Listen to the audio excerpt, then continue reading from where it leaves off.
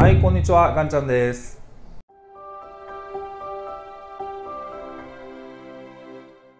今回のドラフト会議で一番こうバランスがいいなと思った指名をしたのは中日ドラゴンズです。1位に東邦高校の石川君。去年のネオ選手に続いて超高校級の野手を2年連続で2名指名することができました。将来は石川選手とネオ選手が必ずこれドラゴンズの主軸になることは間違いないと思います。そしてドラゴンズ4位指名は慶応大学のキャッチャー郡司捕手を指名することができました。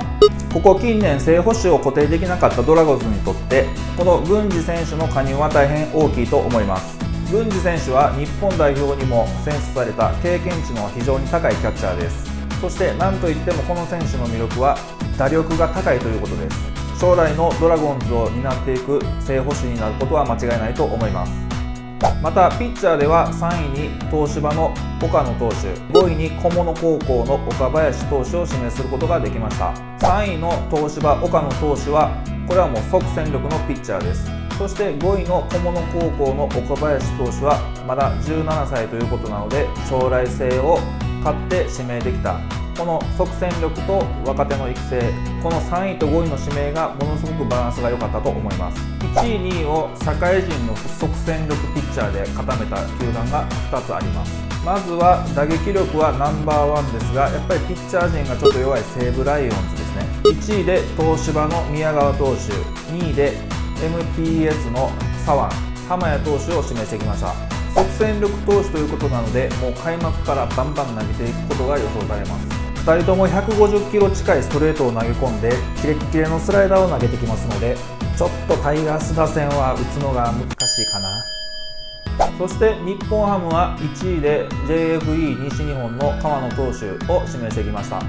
そして2位は東海理科の立野投手です。2位の立野投手なんですけれども非常にあのストレートスライダーとてもいい球を投げるんですが制球力にまだちょっと課題があるピッチャーです。ただし制球力が定まらなくてもこうゲームメイクをしていく能力が非常に高いピッチャーですので、えー、実戦では大変楽しみなピッチャーだと言えるでしょう。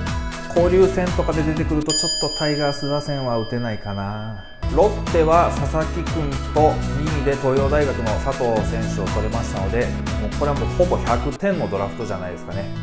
2年連続で井口監督が抽選を当ててます。持ってますね。昨年の藤原選手そして今年の佐々木朗希投手と佐藤俊也捕手この3人は将来のロッテを支えていく選手になると思います、えー、ちょっと意外だったのがソフトバンクの1位指名 JR 西日本の佐藤直樹選手ですソフトバンクとしては柳田選手の怪我や上林選手がちょっと出れない時期もありましたので一時期大変外野手不足に陥った状態がありました。まあ、そういった緊急事態に対応するためにも即戦力の社会人外野手が必要だったのかもしれません。ただ2位で東海大学の海野捕手3位で東北福祉大学の津森投手を指名してきちっとバッテリーも補強しています。大変バランスのいいドラフト指名だったと思いました。ちょっと予想以上に下位指名だったのが d n a の7位有明高校の浅田投手と西武ライオンズの6位で日大三高の井上投手が指名されました。指名順位的には6位7位なんですけれどもポテンシャル的には3位4位ぐらいの実力のあるピッチャーだと思いますので、まあ、まだ高校生ですからこれ3年後4年後とかにですね、まあ、ブレイクしてくれることを期待しております。それでは皆さんは今回のドラフトどのようにお感じだったでしょうか？またよかったらどしどしコメント欄にご意見や感想をお願いいたします。まだまだ紹介したい選手はたくさんいるんですけれども一旦ですね今回のドラフトの